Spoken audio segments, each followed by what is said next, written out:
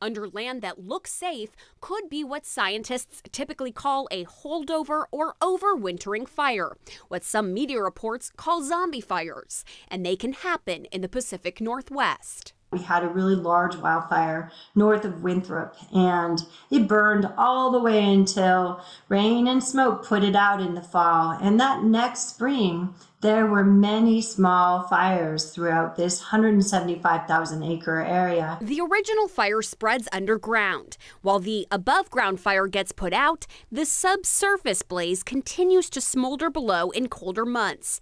As snow piles up above ground, it may reduce in size underground or grow.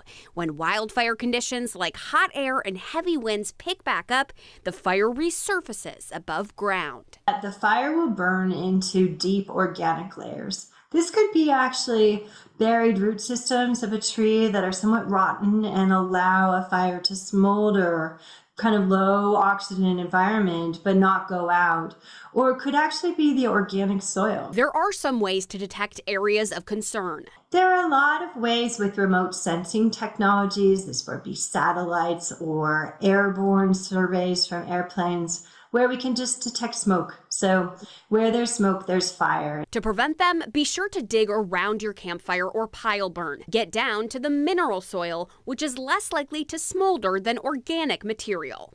For the Environment Northwest team, I'm Erica Zucco.